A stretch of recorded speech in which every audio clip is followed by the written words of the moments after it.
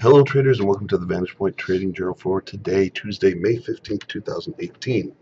How you doing? We're going to show you how VantagePoint has been forecasting market movements and show you what you need to pay attention to today. Today we are looking at Target, TGT,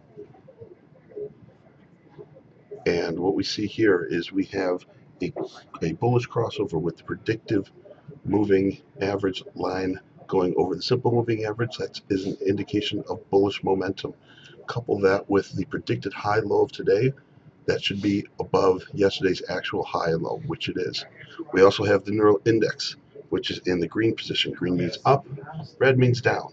So you see that we've been in the green position since uh, from the 8th to the 9th, so well before we even got the crossover. So those three things are showing us a combination of bullish momentum. If you want to buy stock, anywhere halfway through to two-thirds down in this area here. So, you know, we're talking somewhere in the neighborhood of the 72 half area.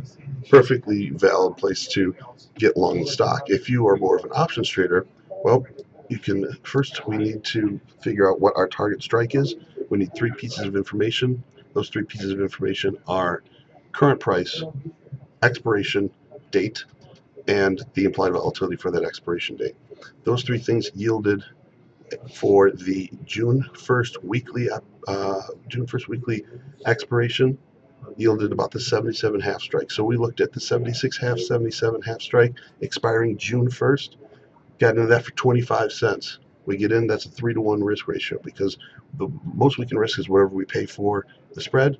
The most we can profit from that is the width of the spread less any of that premium paid. So $1 less 25 cents gives you 75 cents.